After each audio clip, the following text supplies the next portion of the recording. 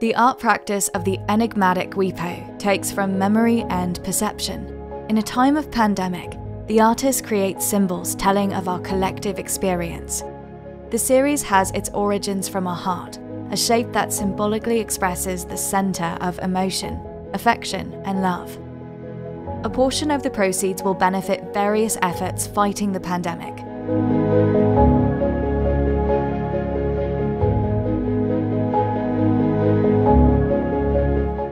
The three paintings incite a three dimensional effect through layered brushstrokes in varying hues.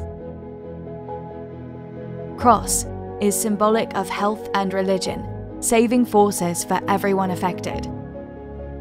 Square builds painterly borders, representing restrictive measures and walls in a global lockdown. Heart is the most redemptive of all, a starting point that goes inward, a guideline for the human experience. Through process and context, these simple shapes transform into greater ideas. The artist jogs our personal memories. The symbols become reminders of hope. WIPO is a visual artist from the Philippines. He has participated in multiple solo and group exhibitions around Asia.